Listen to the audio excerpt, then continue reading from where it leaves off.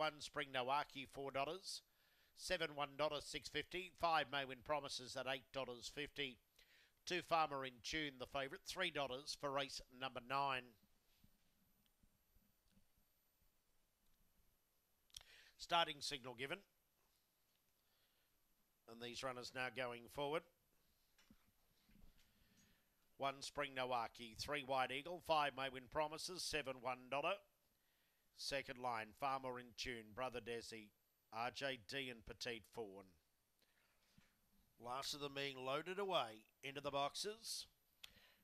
Green light is on. Favourite two Farmer in Tune at three dollars. UBET fixed. Already set and away. Farmer in tune began fast, pushing through to go to the early lead. Around them, Brother Desi Maywin Promises. So is $1 caught wide. Behind them, Spring Nowaki drifting back. White Eagle, RJD and Petite Fawn. Off and gone is Farmer in tune. It's highballing off the back. Five clear over Brother Desi, followed then by $1. The rest headed by Maywin Promises, but Farmer in tune in front. No stopping Farmer in tune. Blitzes them.